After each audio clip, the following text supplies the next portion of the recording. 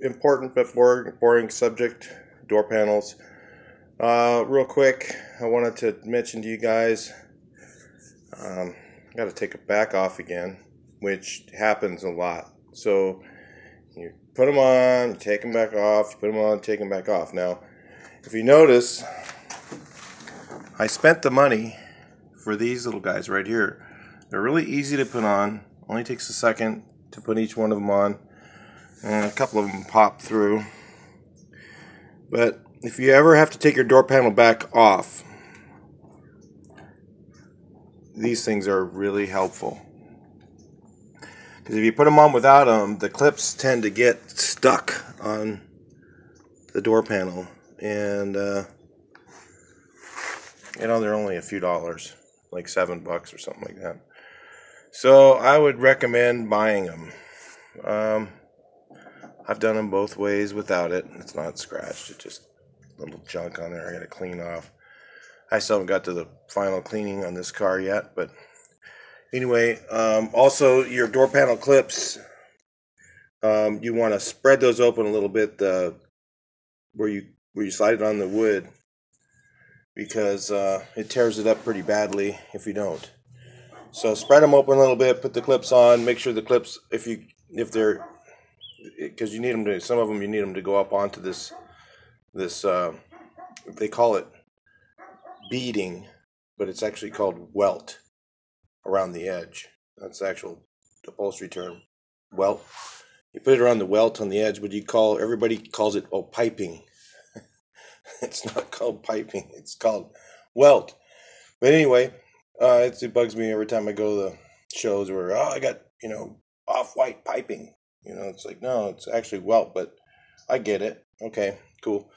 But anyway, uh, so on the early models it has to go under the welt. On the late models, 68 and up, or 65 and up, they don't have this welt around the edge or piping. Um, I'll show you on this side. So it you don't have to spread them quite as wide as you do the early ones, but it does help a little bit just to spread them just a little bit so you don't tear up your wood. All right, and definitely buy these things because it, it just makes it a lot easier. You're gonna take you're gonna put the door panel on, you're gonna take it back off. Every time, almost every job, you're gonna do it. Because what's gonna happen is your window's gonna bind up because you gotta baby powder all this stuff up and then sometimes it doesn't work right when it's brand new rubber um, and brand new felt and all that stuff. It's not very cooperative. So you'll end up having to take it off for some reason. My reason is because the door latch I got was no good. So I got to redo the door latch of the door latch. And those things, if you've ever taken them off, these door latches are a giant pain in the ass to get off right here. Um, so what you actually have to do, and I'll go over that real quick, is uh, you have to take out this bar. if you can get a light on here. That helps. Uh, yeah, you can see it now a little bit. Um, right here, you have to take this screw out, and this whole bar that goes up all the way up into the window channel has to come out in order for you to get that piece out of there. And you wiggle it down, get it down to right here, and then take this part off right here, these two off. Tip that up, and then you can get to the snap ring that's on the side of it to get it out. You know, some guys try and fish up there and put that snap ring in or take it out. Oh, man, that's a way hard way to do it. It's much easier to take the thing out, wiggle it down. It's really hard to get down.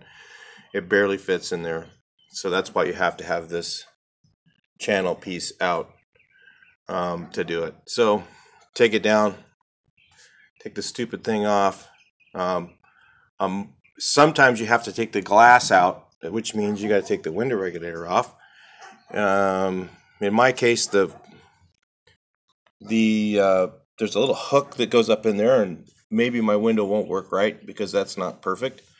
And if it isn't perfect, usually something doesn't work right in the VW. So, um, I'll probably have to take. Uh, you, you mind? I can just slide out once I take this bolt off because the little clip on the top, way up on the top, way up here, is broken.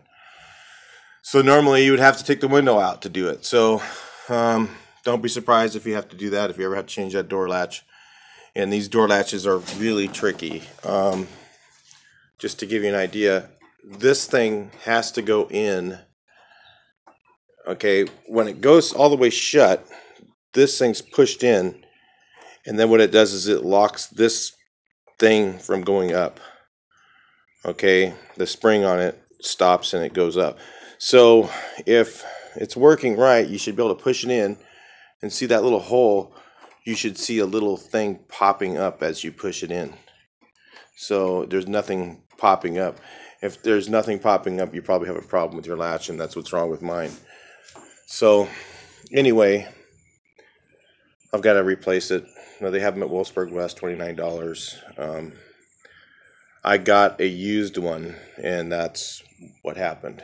Um, I was hoping to get a good used one, but I'm done playing around with used stuff on this part. I'm going to go ahead and just buy a new one and uh, do it again, and hopefully the new one's good. I've heard that they're pretty good from Wolfsburg West, but you really don't even know. I mean, some of the stuff that even they have isn't that great. I mean, most of it's good, but um, the only thing that's really good is original Volkswagen NOS.